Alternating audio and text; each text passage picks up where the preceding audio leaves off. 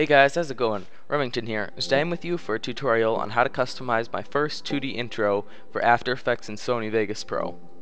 So let's start by extracting the files to our desktop.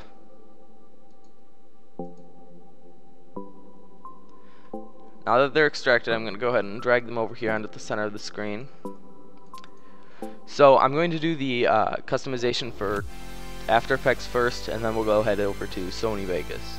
So first I'm going to go ahead and open up Adobe After Effects. So now that After Effects is opened up, to edit the text, we're going to come over here to our text layer called Your Name. We're going to double click it, and it should highlight it. Now you can just click up here and enter your own name. If you, or to stop editing, you just have to click the layer again. If you feel as though it's off center, you can come up here to this arrow tool, or press V, you can click it and drag it around. So now, if we kind of scroll through the timeline, you can see what happens. Or you can press numpad 0 to do a little preview render here. So it's going to finish up here. Might take a second, but it'll do it.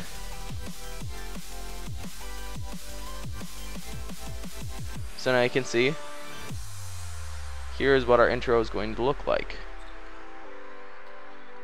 Beautiful. So now we have to render it. To stop playing, just press numpad 0 again. So to render it, we're either going to come up here and press composition and go to add to render queue, or we'll press control M.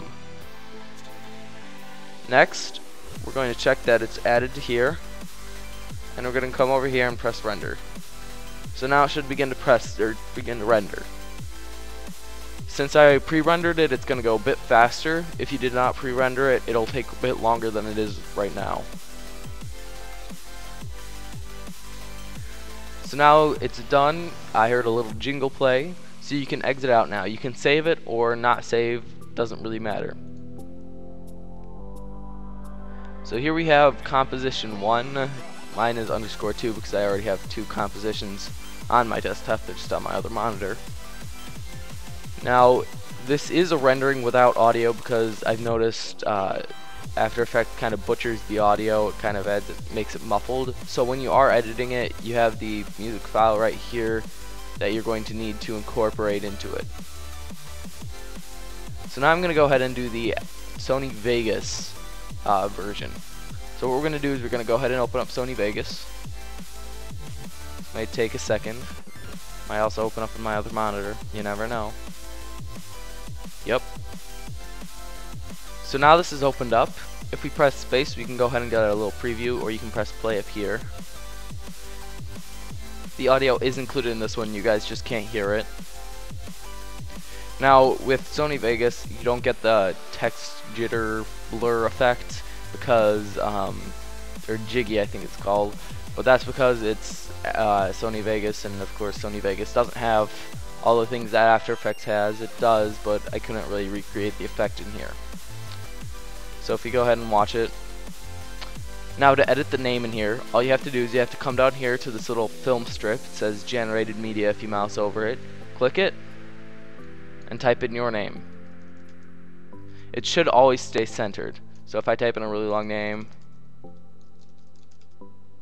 and say your name's too big like that, you can just highlight the text and change the font size down to 36 or if it's really really long you can change it down to 16. So I'm going to go ahead and change this back to just plain Remington. And we're going to go ahead and make it 48. You can also make it bigger if you'd like, so 52 kind of gives you an idea. You can also enter a custom value. So now we're just going to go ahead and select these. You shouldn't have to do that, but I always do it, it's just habit. We're going to come up here and click this little render button. Alternatively, you can go to File and Render. And then I render in a WMV format, so I'm going to render in 6 megabytes or megabits per second, 720p video. And it's going out to my desktop, so now if I click Render,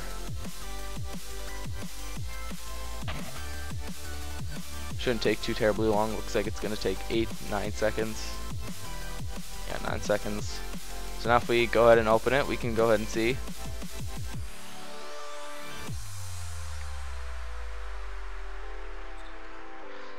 So now you can see that that works perfectly fine. And we have two fully customized intros. I also like to thank uh, Laszlo for his song "We Here We Are." I said "We Are Here," but "Here We Are." It's a great song. You should go check him out on SoundCloud and on YouTube. So that about sums it up for this video. Thank you guys for watching, and I'll see you guys later. Adios.